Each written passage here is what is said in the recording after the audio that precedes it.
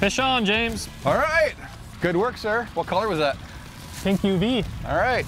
Today on Go Angling, we're on Lake Pepin. I got Pat McSharry in the boat, and we're gonna chase down a hot high water walleye bite.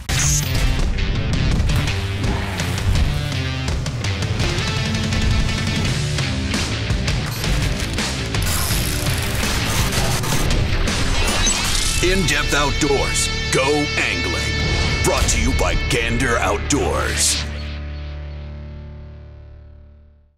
Boy, they are right up in the, We're in the rhubarb. yeah. So is this bottom that's normally here, is this pretty clean? Or is It- this just actually land? This is actually like, it would be like a sandy beach mixed with buckbrush, you know? Okay. Whatever vegetation grows on sand. I've been on Lake Pepin very few times and obviously never when the water is this, this high. I mean, normally you would be able to take your boat and put it up on shore here. You got a walleye, eh? I believe it's a walleye. I'm guessing walleye or You gonna eat that? You, gonna eat that? I'm not that hungry this morning. Pick your teeth with it. oh, nice fish. There we go. First five minutes, first fish.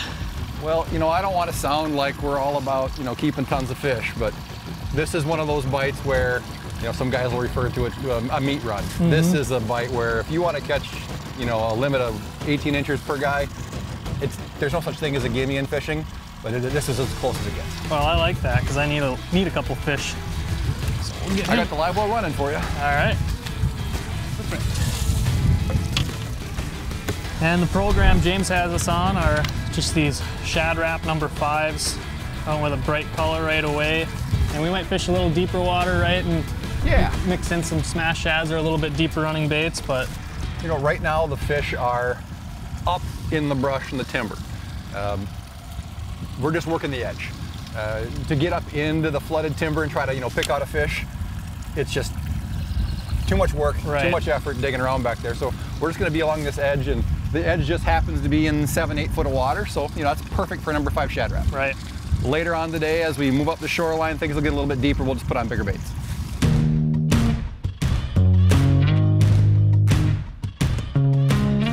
That's a good one. Maybe. It's a good eater. 18, 20 inches. And these fish, you know, it's first part of June, first couple days into June. And uh, these fish will already be pretty chunky by lake comparison. They eat pretty good out here. Well, they're pretty chunky to begin with. Yeah. they don't fall as far as No. a, a lake walleye does. No. Oh, come here, fish. This was on a bright, this was on a uh, fire tiger. And when it comes to uh, catching a bunch of fish for a meal, this deal here on Pepin is about as guaranteed as it gets. Oh, there's one right behind the camera guy. There we go. All right. Real nice June walleye here on Lake Pepin, really just getting things set up and started. This is a little big by my uh, estimation for a keeper. That's probably a 21, maybe a little bit longer inch fish. We're gonna catch so many 17 to 19 inch fish today, there's no point in killing this one. So see you later. So the program out here, you know, the water's low to mid 60s. And a lot of walleye anglers would be thinking, you need to, you know, slow down. It's early in the season yet. These fish out here on Pepin are wired a little bit differently. Uh, we're going to be fishing about three to three and a half miles an hour today, pulling these crankbaits in shallow water. And it is one of the most efficient ways to fish out here, bar none. We've got real high water right now. Uh, most of the river is really hard to fish. And of course, that's something that's just plaguing anglers all over the Midwest. But Lake Pepin is one of those wide spots in the Mississippi River where you can really get out of the current. And these fish are out here, they want to feed right now. So we're going to give them what they want. Oh, look at that! Hey. It's mad! It's either a walleye or a drum. A bullet. Feels like a drum. Oh, it is a walleye.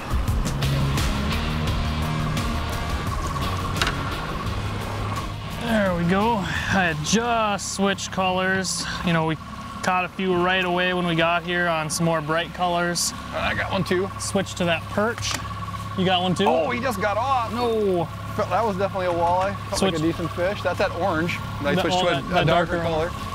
So that's two bites on darker colors, so we might be on to That's something a solid there. fish. Yeah, nice chunky fish. Welcome to the fish fry.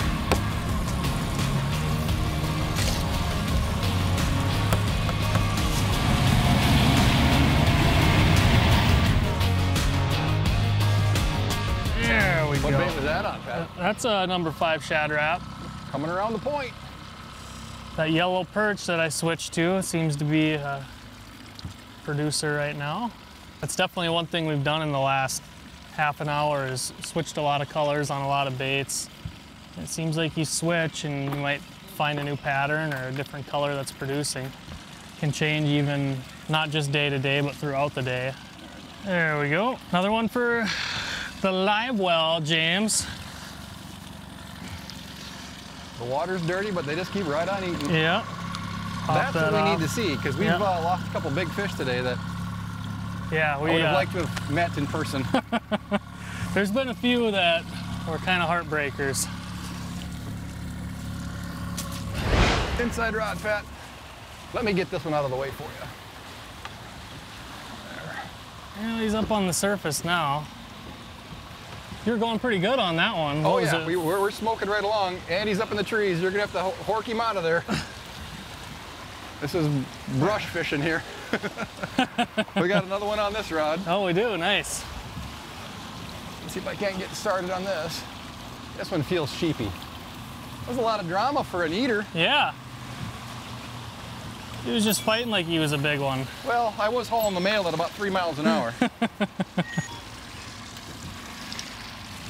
if there's a faster, more efficient way to put a meal of walleyes in the boat, I just Oh. don't know what it is. I mean, it's just, you're always dealing with a fish. Right. As soon as the water drops another, you know, four feet, it, it really tapers off. What's the water temp that you usually look for for this kind of speed trolling? The magic start for this bite is 63 degrees. For you know years when I guided down here, that was always the start. And there is no ceiling.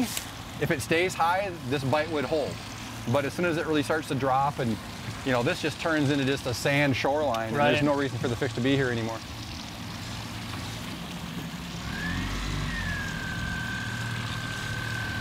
And I don't know what the reasoning is, why they respond so well to those fast cranks, but you slow down, you catch more white bass and sheephead. You dial it up near three miles an hour or even more, it's just mostly walleye. Mm-hmm. All right, that's all for us. For everybody watching, uh, please subscribe to the channel. Uh, we're going to be putting out two videos like this every week. Would love to have you along on all the adventures. And if you've got some ideas for videos you'd like to see, some topics, species, destinations, make sure you add it to the comments. Would love to hear from everybody that's watching the video. So from Pat McSharry and I, thanks for watching this Go Angling, and we'll see you next time.